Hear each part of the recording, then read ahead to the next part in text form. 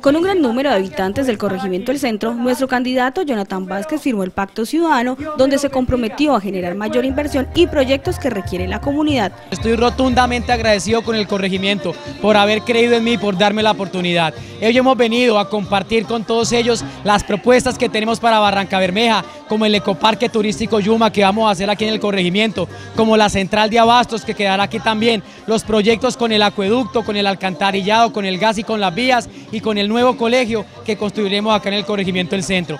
Dentro de la firma de este pacto, el empleo, las vías, la salud y la educación serán una prioridad. Y es la hora de darle la oportunidad a una persona joven con nuevas ideas, con un proyecto tan chévere que trae para toda la comunidad, el centro, Barranca, para todo, todo trae un proyecto buenísimo, estoy 100% con Jonathan. Bueno, que el apoyo que le dé a este pueblo es importante porque lo necesitamos. Un buen líder es un buen pueblo y el pueblo le da el apoyo a él. nosotros estamos apoyándolo porque tenemos algo también para comprometerlo, para que no somos, somos soy el gremio del mototaxismo y venimos donde venimos desde lejos para venirlo a acompañar y a estarlo apoyando en su campaña para que él nos apoye también a nosotros. El centro apoya, apoya a Jonathan Vázquez, apoyemos los centros. La plazoleta de los Comemangos fue el escenario perfecto donde los líderes de la comunidad se comprometieron a trabajar por el bienestar de la ciudad.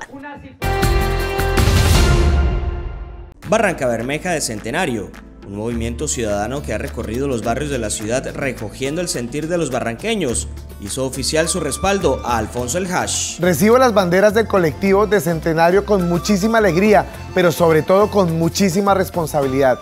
Ha sido un arduo trabajo de jóvenes, de profesionales, de amas de casa, de sindicatos, de desempleados que han visto en Barranca Bermeja la oportunidad de vida, pero que ha sido importante recoger lo que en el pasado se ha hecho para establecer claramente cuál es nuestro presente y que este centenario no pase en vano, que sea un centenario que celebre Barranca Bermeja lleno de ideas y sobre todo de acciones.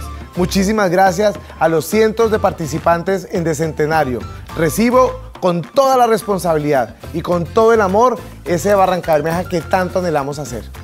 Empresarios, deportistas, jóvenes, mujeres y representantes de otros sectores conforman el movimiento que promueve el emprendimiento, el amor por lo nuestro, educación a todo nivel y respeto por los demás. El colectivo de Centenario son unos barranqueños deseosos de que Barranca Bermeja progrese, que se desarrolle y por eso hemos he creído que el doctor Alfonso le podemos depositar, entregar la confianza que requiere para desarrollar la ciudad.